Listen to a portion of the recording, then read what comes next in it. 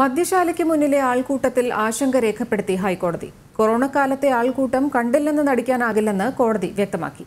തൃശൂർ ബേവ്കോയിൽ ആൾക്കൂട്ടം നിയന്ത്രിക്കണമെന്ന ഉത്തരവ് പാലിക്കാതിരുന്ന സംഭവത്തിൽ എക്സൈസ് കമ്മീഷണർ നേരിട്ട് ഹാജരാകണമെന്നും കോടതി നിർദ്ദേശിച്ചു.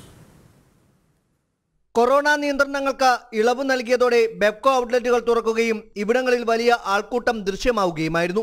ഇതിന്റെ ഫോട്ടോകളും വീഡിയോകളും പരിശോധിച്ചാണ് കോടതി ആശങ്ക രേഖപ്പെടുത്തിയത്. ഇത് കണ്ടില്ലെന്ന് നടിക്കാനാകില്ലെന്ന് പറഞ്ഞ ചീഫ് ജസ്റ്റിസ് അടങ്ങിയ ഡിവിഷൻ ബെഞ്ച് ഇക്കാര്യത്തിൽ ചൊവ്വാഴ്ചക്കകം സർക്കാർ വിശദീകരണം നൽകാനും നിർദ്ദേശം നൽകി. എന്നാൽ ഒരു മീറ്റർ അകലം പാലിച്ച ആളുകളെ നിർത്താൻ നിർദ്ദേശം നൽകിയിരുന്നതായും വീഴ്ചയുണ്ടെങ്കിൽ പരിശോധിക്കുമെന്നും സർക്കാർ അറിയിച്ചു.